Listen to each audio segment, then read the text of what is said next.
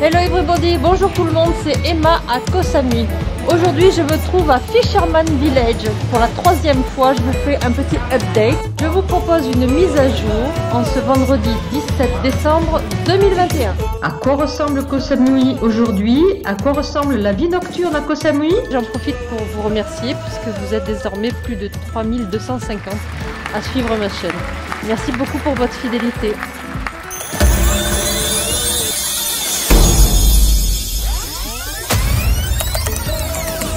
Derrière moi, vous avez le parking. Vous voyez comme il se remplit. Je ne vous montre pas la première partie du village de Fisherman parce que cette partie-là n'a pas évolué. En revanche, je vous propose aujourd'hui deux surprises. Restez bien jusqu'à la fin. Et même une troisième surprise puisque vous voyez, ils ont refait le dallage de cette rue. Je me trouve à la hauteur du Cocotam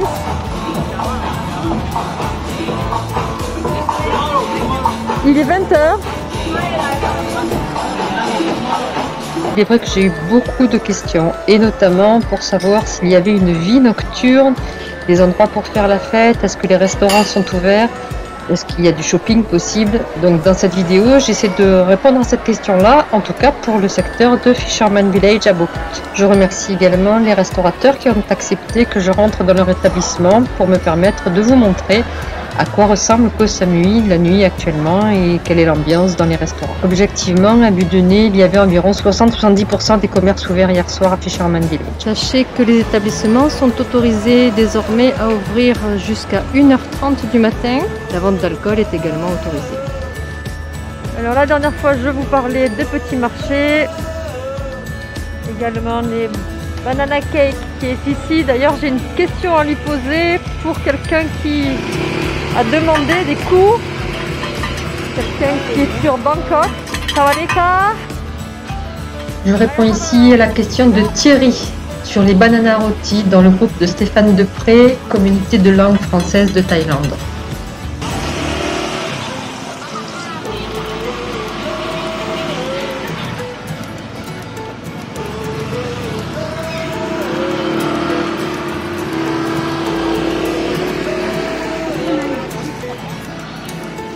Do you speak English? Okay. Je lui explique qu'une personne de Bangkok aimerait prendre des cours avec lui et apprendre à faire des bananas rôtis et savoir s'il accepterait de les lui donner. Je lui ai demandé combien de temps ça prendrait et le prix qu'il aimerait euh, en recevoir. Je le laisse préalablement terminer ses commandes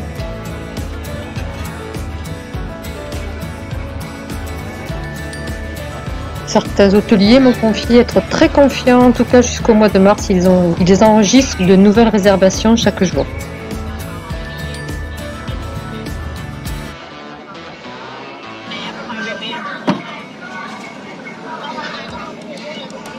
Et voilà, vous avez vu la préparation du banana rôti en direct de Koh Samui.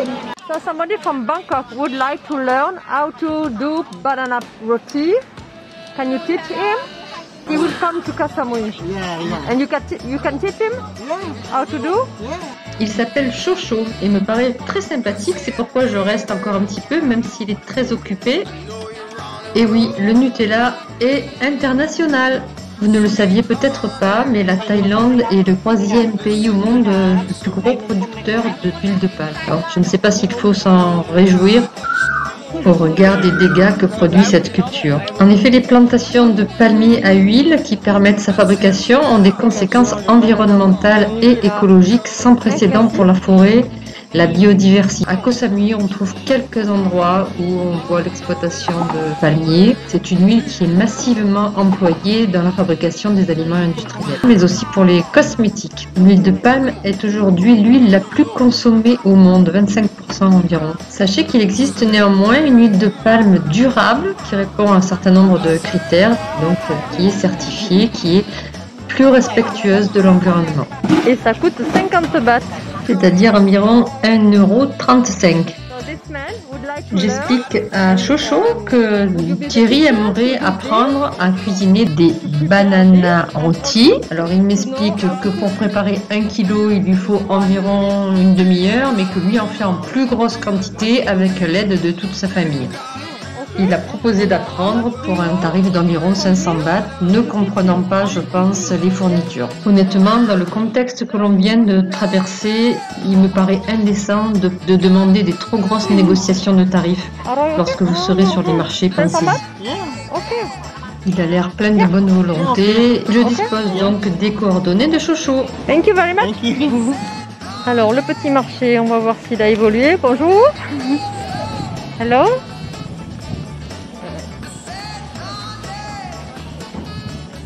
Alors, il faut savoir qu'en venant ici, j'habite à 15 minutes exactement.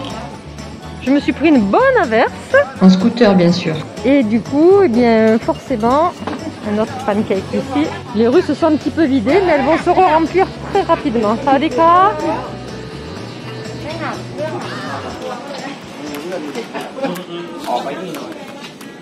Vous voyez, le marché se reconstitue petit à petit.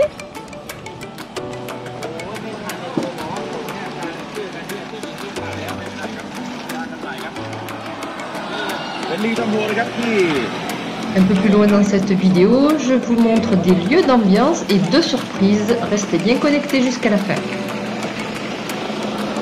Ça va des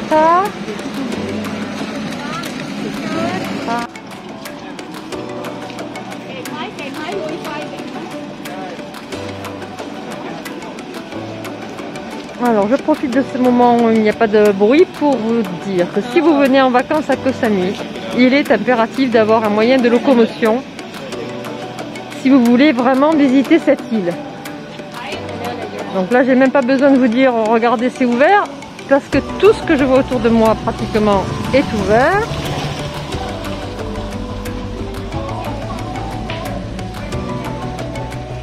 L'Éden ouvert. Sawadika.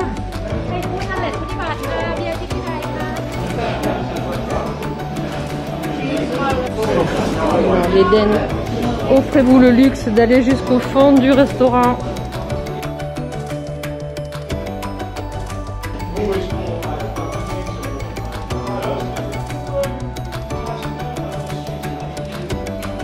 Alors, je discutais tout à l'heure avec un, un hôtelier restaurateur qui me disait que les réservations vont bon train actuellement et que la période de à partir de Noël et jusqu'à fin mars s'annonce vraiment encourageante.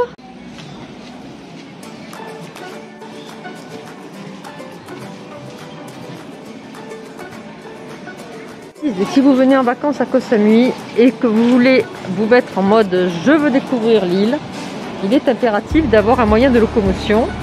Si vous êtes un conducteur aguerri en scooter et que vous avez envie de découvrir aussi la montagne, je vous conseille vraiment un 150 cm3.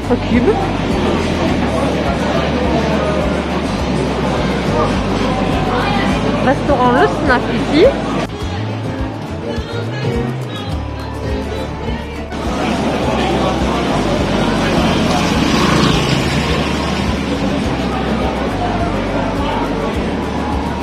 J'aimerais vous dire qu'il vous faut considérer une location de scooter comme une excursion.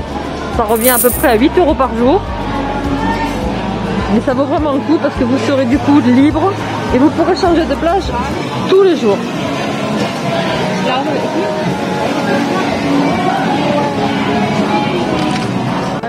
Et Geco, en fait ils organisent régulièrement des petites soirées animées comme ça. Il y en avait une il y a, il y a deux jours je crois, avoir vu ça sur, euh, sur les réseaux sociaux.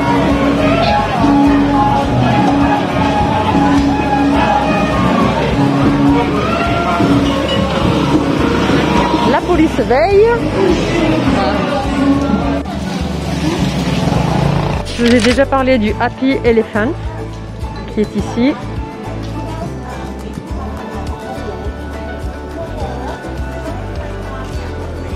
Et cette petite place qui s'est refaite d'une beauté. Et quand on voit le nombre de voitures et de scooters qui sont là, on se rend compte que c'est reparti à Koh Samui. En tout cas pour Fisherman Village, c'est en bonne voie comme vous pouvez le voir. Alors pourquoi je vous invite à aller jusqu'au bout de la place? Parce qu'il y a un établissement qui s'appelle le Cocotam qui propose une ambiance un petit peu plus calme. Je rappelle que ma vidéo n'est pas sponsorisée. Alors je n'ai encore jamais mangé ici, mais mon but c'est de regarder un petit peu aussi la carte. Sawadeka L'ambiance est tranquille. Je montre les différentes ambiances qui pourraient vous intéresser. Voilà l'ambiance de cet établissement. À découvrir au fond de la place.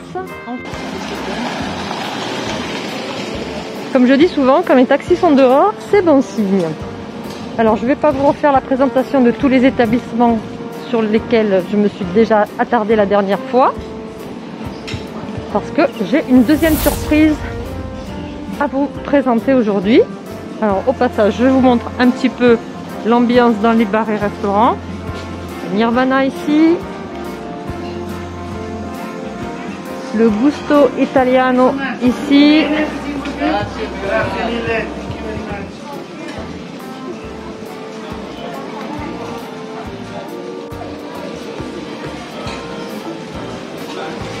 Ciao.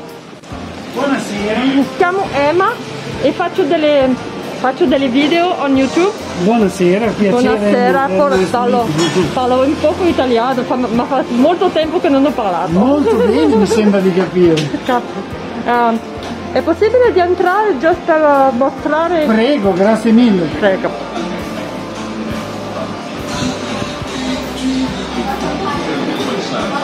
Ça sent bon la pizza, ça sent bon les pâtes italiennes.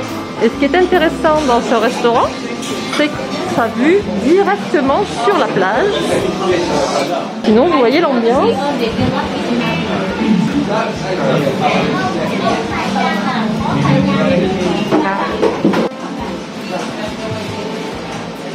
Ce commerce-là a réouvert. Il était fermé la dernière fois.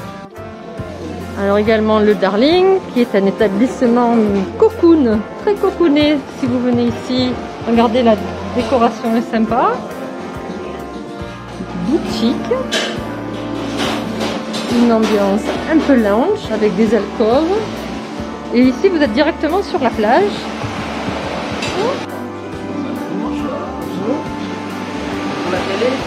C'est pour YouTube.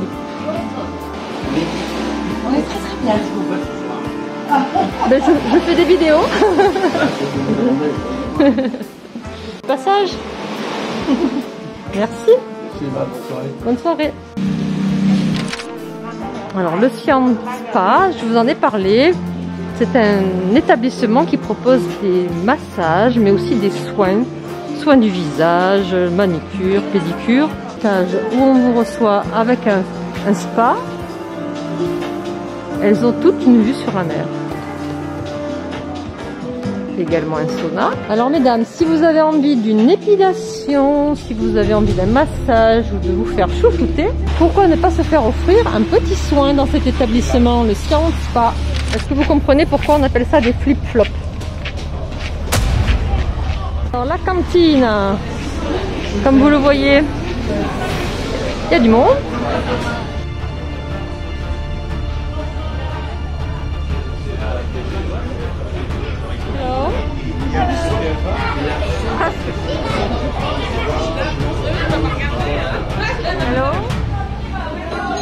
Alors la cantina c'est aussi un établissement euh, qui permet de manger au bord de la mer.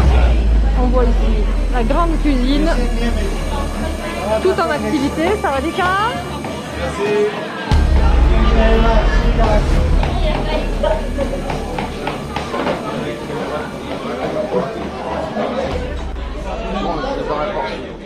Karma Sutra. Alors, propriétaire du Karma a plusieurs établissements sur l'île. Il y en a un sur la plage, un autre qui s'appelle le Karma Delhi qui est juste en face. Et ici, je suis devant le Karma Sutra. Voici donc ma première surprise. Eh un établissement qui fait la fête, qui crée des animations tous les vendredis. C'est ici au Kamasutra. J'ai dû changer la bande de son pour ne pas être bloqué par YouTube.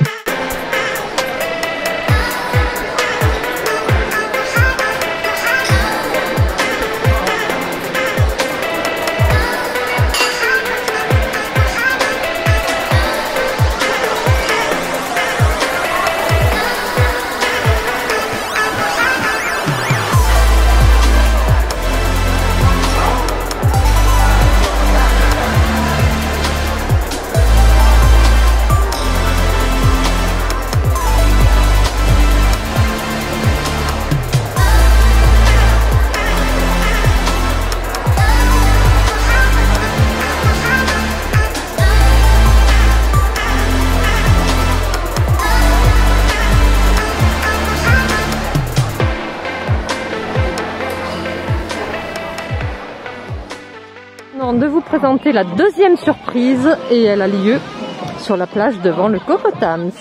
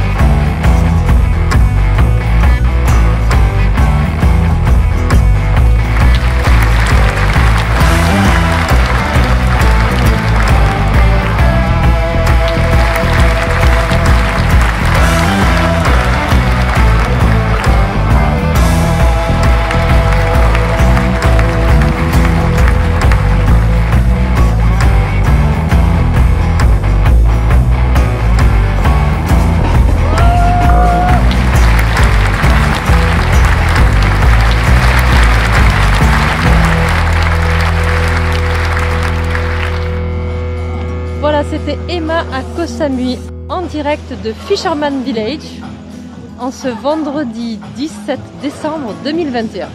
Comme vous le voyez, la vie reprend vraiment à Koh Samui. Alors si vous projetez des vacances ici, ben, vous voyez qu'il y a de quoi s'occuper.